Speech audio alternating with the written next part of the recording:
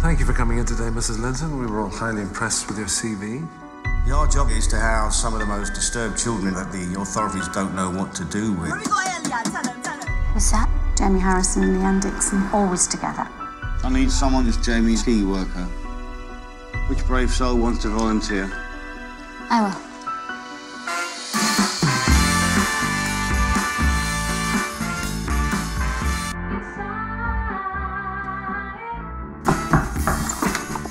Has anyone ever told you you've got a lovely voice? Has anyone ever told you the staff aren't allowed in residents' bedrooms? I hate when they try and be all matey and everything. Would anyone like a coffee? And you get tired of managing people's lives. They're not people, David. They're children. So when you sing, does it help you to forget?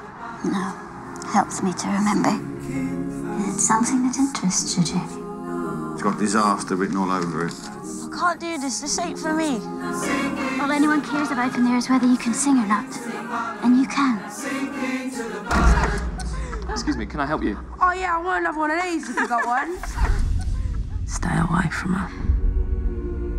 My feet will always land If you really were her best friend, you wouldn't put her in this position. You gotta let her go. I'm not going to give up.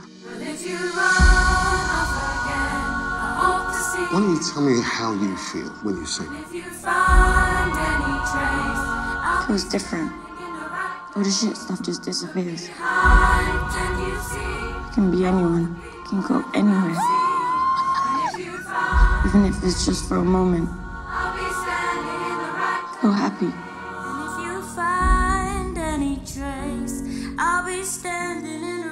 Place.